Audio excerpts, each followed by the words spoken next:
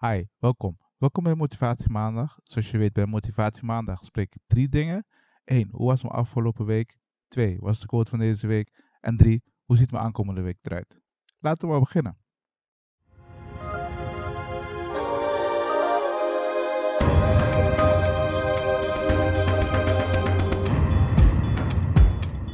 Eén, hoe was het mijn afgelopen week? Nou, ik zeg eerlijk, afgelopen week was het zo druk. Het komt nu de opdrachten of wat dan ook, maar het komt erop dat ik naast de opdrachten ook iets nieuws ging leren. Dus met andere woorden, ik was opdracht aan het verrichten, maar ook uh, tutorials aan het volgen, cursussen aan het volgen over een bepaald onderwerp.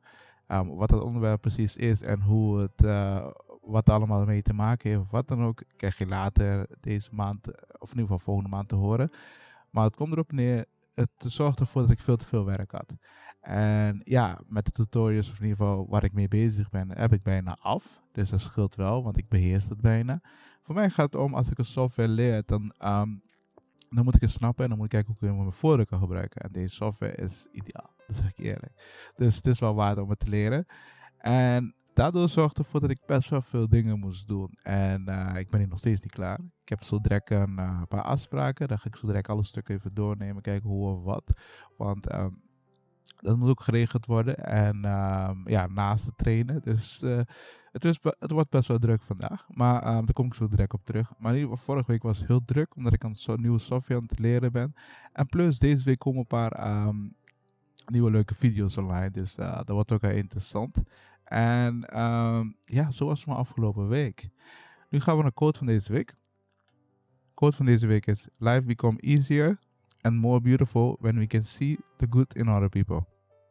Van deze quote kan je beide kanten iets zeggen. Kijk, wat ik interessant vind in deze quote is dat, ja, iedereen heeft iets goeds in zich, maar iedereen heeft ook iets slechts in zich. Dat moet je gewoon niet negeren. Zo simpel is dat, want iets slechts, wat diegene slecht vindt of wat jij slecht vindt, dat kan ook soms iets goed zijn. Wat wel belangrijk is, dat jij de moeite doet om iemand te begrijpen.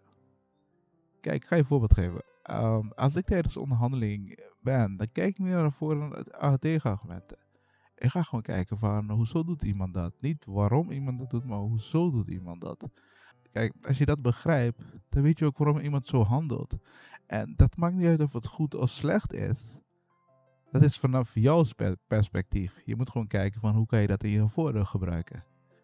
Dus met andere woorden, ja, sommige mensen hebben goede, en slechte dingen in zich. Het zijn mensen. Iedereen maakt fouten. Iedereen doet goede dingen. Ik doe dat ook.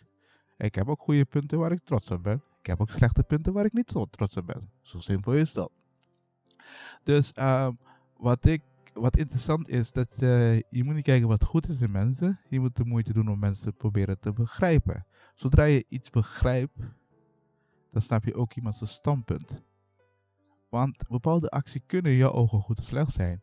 Maar aan de andere kant kunnen we zien van, hé, hey, dat is zo bij mij. Zeg maar, als iets slecht is, als zij iets slechts doen, als zij iets doen waarvan jij denkt dat het slecht is, probeer te begrijpen waarom ze, hoezo zij iets doen.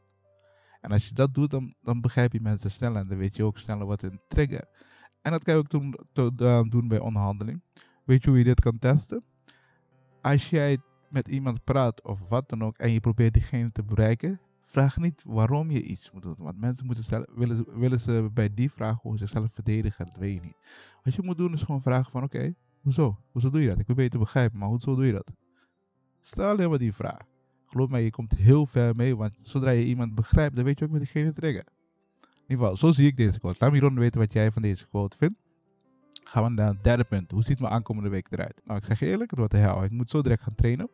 En daarnaast heb ik nog twee afspraken staan uh, kort achter elkaar. Dus uh, naast trainen moet ik nog even snel voorbereiden. Maar ik heb de stukken al doorgenomen, in ieder geval de stukken informatie doorgenomen.